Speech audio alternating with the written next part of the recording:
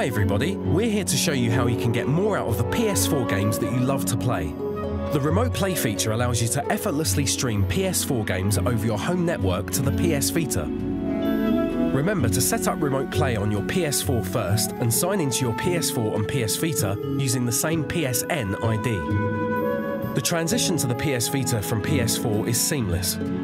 Simply press the PS4 link button, press Remote Play, and you're ready to roam free. The intuitive analog sticks are ideal for gaming, and PS Vita's crystal clear 5 inch screen is the perfect way to enjoy Journey and its stunning visuals. Explore the ancient, mysterious world of Journey on a quest to reveal the long lost secrets of a forgotten civilization. The controls on the PS Vita are just like the PS4. The left stick allows you to navigate through the world, and the right stick allows you to look around. If you want to jump, press X, and holding X will let you fly. Using circle, you can sing to harness the power of nearby objects and fly further.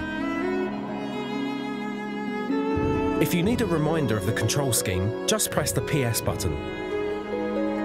To use Remote Play, you'll need to keep your PS4 switched on and stay within your Wi-Fi range, but you're free to change the channel on your TV or switch it off completely. Use the PS button on your PS Vita to swap back to playing on the PS4 or end Remote Play. And that's it.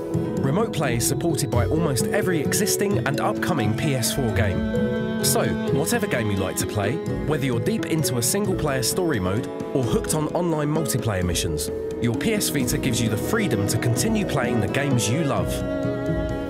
With Remote Play on PS Vita, you never have to stop playing and your journey is just beginning. Start your game on PS4 and continue the action on PS Vita with Remote Play. This is for the players.